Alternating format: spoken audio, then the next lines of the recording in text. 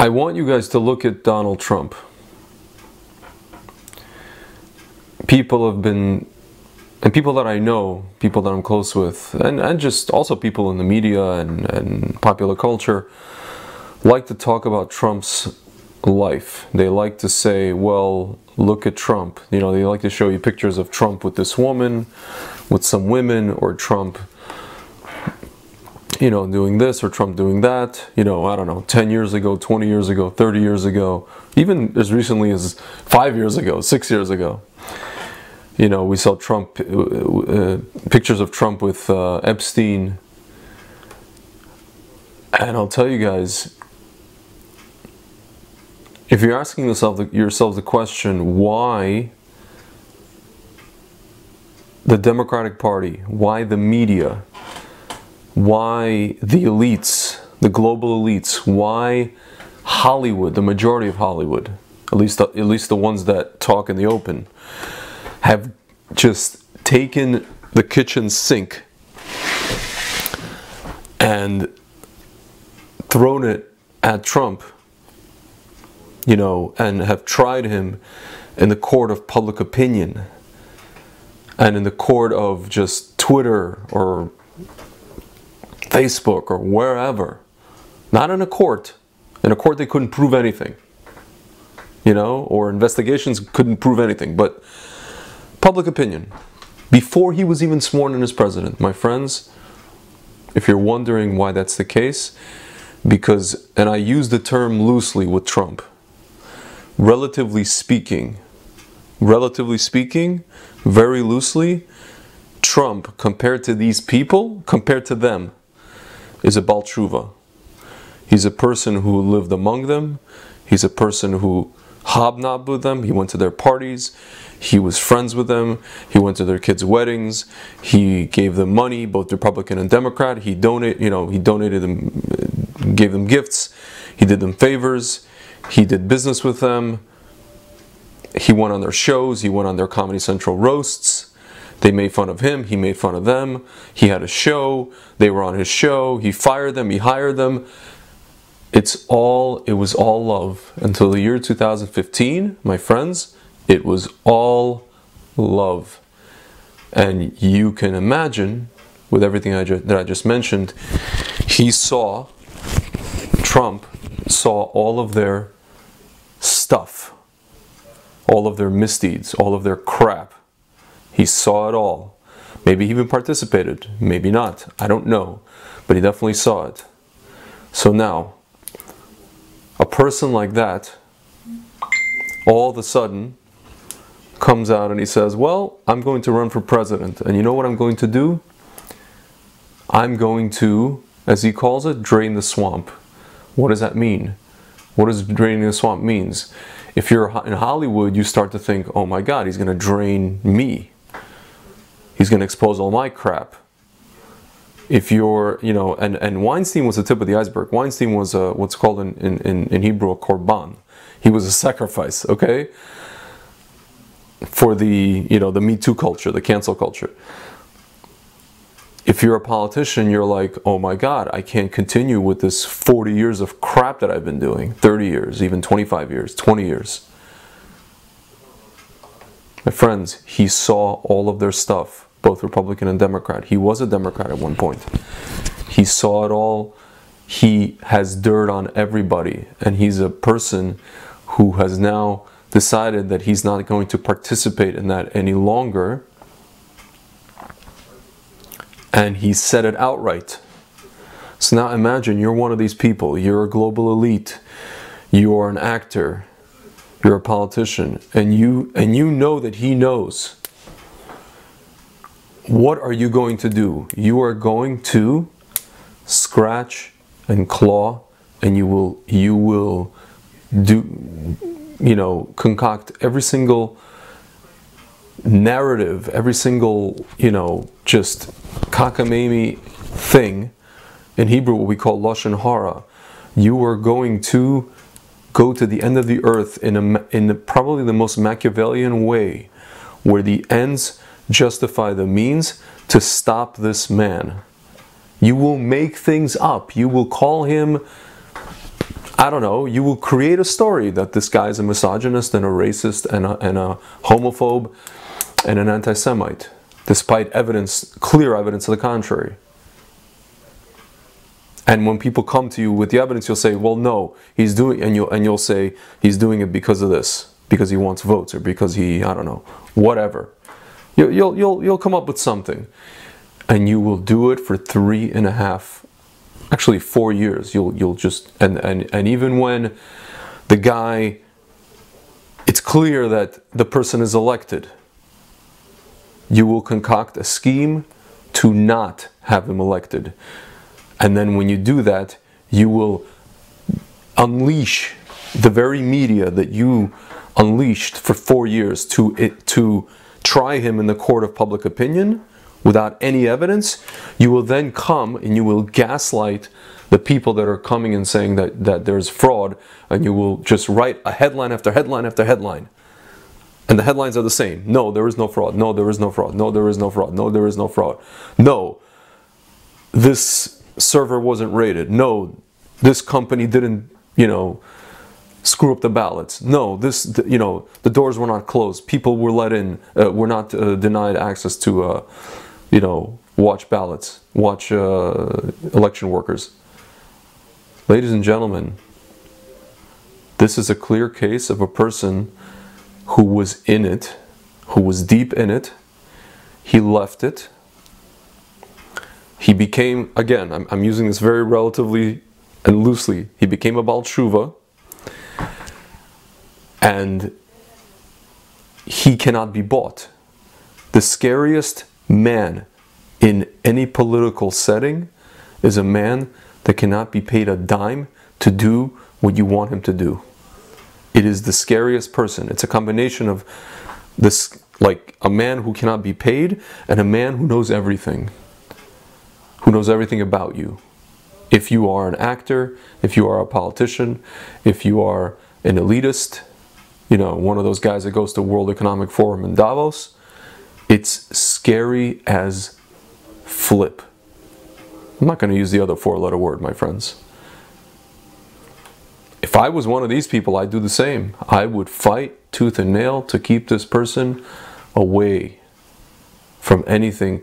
And you see now, they're saying once this guy leaves, we're going to go after him legally. We're going to after his taxes. We're going to see what we can dig up on him and find on him that he did, I don't know, whenever he did it 10 years ago, 20 years ago, 30 years ago, you know, something with taxes or something with whatever. Because they don't want this guy coming back. They don't want him coming back ever. Because God forbid he does for them. Because again, Ladies and gentlemen, this is a person who was in it. He saw it all. And yes, you can say he talked about grabbing this and grabbing that. But you know what? My friends, all of the people, you know, I'll give you an example. All of the women, all of these actor actresses that marched in this pink hat march, they had men grab everything. Their, their whole act was about grabbing and this and that and the other and you know, and then they invite this uh, Linda Sarsour, who was up. To, if it was up to her, not one of those women would be having an abortion. I could tell you that much. Abortion would be illegal if it was up to her and the society that she comes from. Women get stoned for doing what the women in the Women's March are propagating. So, and so the people that are calling him all these names, these are people who, you know, if Trump talks about it, these are people who did it. Bill Clinton. The list goes on and on, my friends. All these actors, all these elitists, all these politicians. My God, if that ain't the pot calling the kettle black, I don't know what is, my friends. I really don't know what is.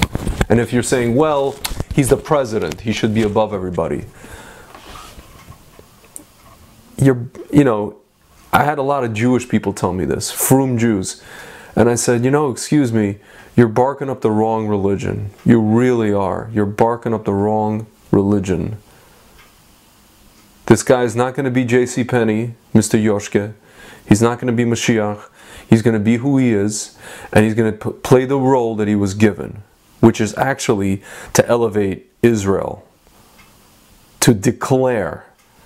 Because, my friends, if Rav Kook was alive today, if Rav, Rav um, Avram uh, Yitzhak Cohen Kook was alive today, he would say that uh, an American president who declares Jerusalem as the capital of Israel, it is not a political machination, it is a spiritual machination. An American president who declares the Golan Heights as part of Israel, an American president who says that, you know, Bechavot, please annex or declare sovereignty over your ancient heartland, Judea and Samaria, that is a spiritual machination, my friends. As above, so below. That is a spiritual machination. That has never happened in history. And I had a friend tell me, yeah, he did it for the votes. What votes? Of the immovable 75% of Jews who vote Democrat? What? What votes? Ladies and gentlemen, what you're witnessing is something related to the Tanakh. It's something related to, to something that we can't even understand. Something that I speak to 99% of even Orthodox Jews, they don't even understand what's going on. They're not even tapped into that on that level. And this is what we're seeing. And if you look at history, if you look at the history of how the elite in America, both Republican and Democrat, have treated the Jewish state and how they've impeded the Jews from doing what's called quote unquote the tikkun, you will understand that Donald J. Trump is their worst nightmare. What he's doing by allowing Israel to be who Israel needs to become, and our mission to fulfill our mission in the world, which is largely spiritual, it is their worst nightmare. It is the worst nightmare of Republican James Baker and uh, George Bush's father, as much as the, is the nightmare of Bill Clinton, Hillary Clinton, Barack Obama for sure, Kamala Harris for sure, Joe Biden for sure, who spoke at the J Street conference maybe twice. Ladies and gentlemen, and the fact that there's peace made with the Arab nation states, and this is something that cannot be now reneged on or, re, or rewound. And you can say, well, you know, there's Iran at play here, whatever it is. My friends, this hasn't happened. Iran has been a threat since 1979. Was Saudi Arabia normalizing relations with Israel? For the past, for, I don't know, 30 something years? You know, they could have they could have asked for Israel's help in 1981, 1980, when they saw that Israel bombed Iraq, the Osirak reactor. You know, that they could have, they, they saw that Israel could defend them. Maybe they had clandestine, I don't know, clandestine uh, cooperation. My friends, the point is there's a person who was sent by Hashem, as imperfect as he is, all the stuff that he did, all the stuff that he participated, all the people he was friends with, all the actors and all the elites and all of this and all of that. You may not, may not like the way he tweets. Like I, like I said, you know, from uh, the movie uh, Boiler Room. Tell him you don't like his flippin' necktie. But this is who Hashem sent, my friends. This is who Hashem sent. He's not Mashiach. He just has a job.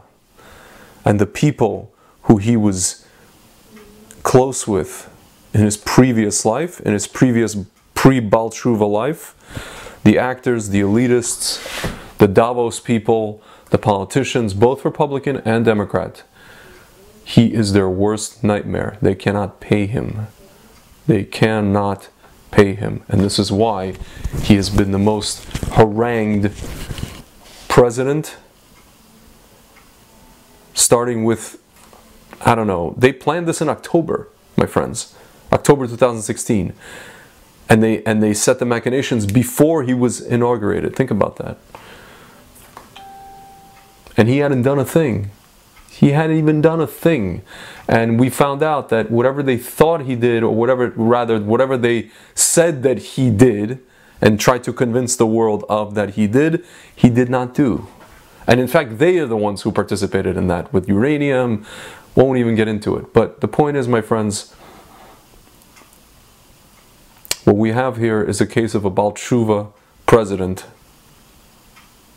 who is being pestered by his former life. And his former life, it can't suck him back in. It desperately wants to, and it also desperately wants to suck us back into it. And uh, unfortunately, now we're at risk of going back to that former life. And um, we should know that. We should be aware of that. And uh, we should be vigilant.